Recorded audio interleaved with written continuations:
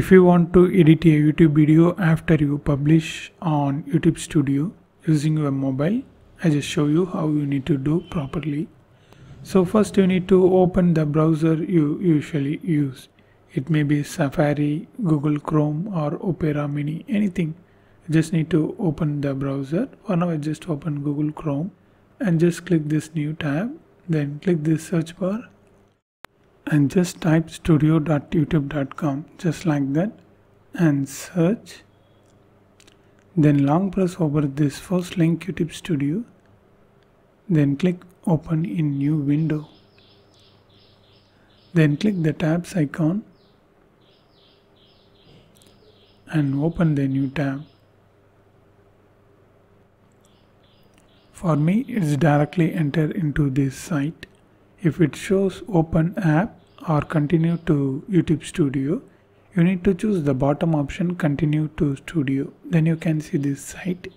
If suppose it doesn't look like this, click these three dots and click desktop site. Then definitely you can see the same. Then if it shows sign in, you just sign into your YouTube channel. For me it's already signed in. Then use your two fingers and zoom like this and click here at the top and switch account.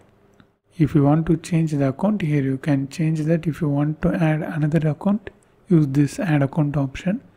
For now I just select this YouTube channel. Okay now it's changed. Now time to edit the YouTube video. Now zoom here like this and click this video player like icon. This is content. So here you can see all your youtube videos. For now it's just one. So if you want to edit this video just touch that. Now here zoom a bit. And just click this third icon editor yeah now we came to that page. So edit and apply elements get started. Okay this is the editor window. Here you can see there is a lot of options trim and cut blur audio end screen and info cards. For now first let's see trim and cut. Just click this plus. So here you can see a blue border. Okay. I just turn on the auto rotate. Okay now it's better. So if we click the trim and cut then a blue border will be created like this. Anything within the blue border will be selected. So if you want to cut any starting position you just need to move like this then this remaining portion I mean this portion will be eliminated. Same goes here. If you want to cut the end screen like that you just need to move like this and here you can see the timing. So you can see. You just need to move the cursor like this and play the video. Okay here it's end. If I move like this this blue border and move the cursor and play the video. So here you can clearly understand. Same goes here. Simply anything within the blue area it will be selected to publish. Outside of this blue line will be eliminated from the video. You no need to move this to the starting point. It will automatically selected so this option is for to trim the starting of the video and ending of the video. So if you want to trim the video in between the timing, you just came here and click new cut. If this new cut option grayed out, you just need to click preview. Then a preview video will be appeared here. After you watch that video, the new cut option will be enabled. Just click that yeah. This is the new cut option. So here you can see a red border will be created. Anything within the red border will be eliminated from the video. We can manually adjust like this. I mean we can manually adjust like this. And if we tick that it will be deleted or we can use the time frame.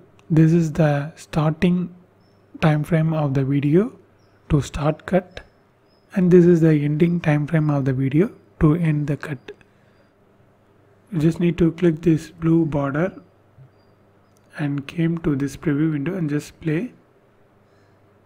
Let's say if you want to cut here just pause and note the timing. So it's like 417 so it just came here and just type 417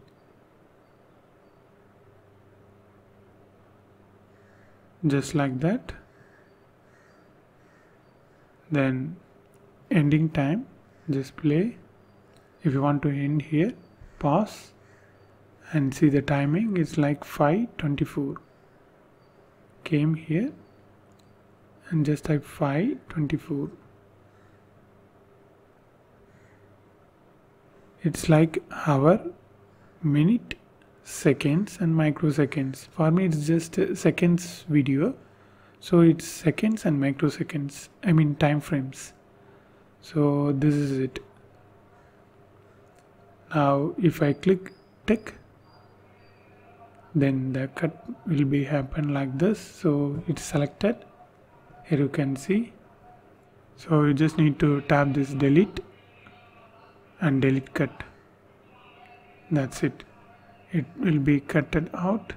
Let's preview the video. Preview.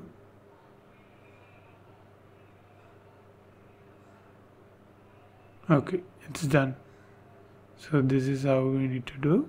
If you want to increase the time frame you can use this slider just like that. Then this option is for redo and undo. You can also use these features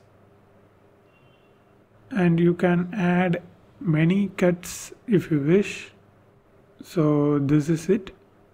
Then just click save. You just need to read this and click acknowledge and confirm changes. So here you can see video editing is in process. So it takes time like 2-3 hours to replicate on your videos in case if you want to revert this you can change that at any time on youtube. So here you can see the new rendering was going on. The edited rendering. Okay it's done. So this is it. And if you want to know more videos about youtube watch these videos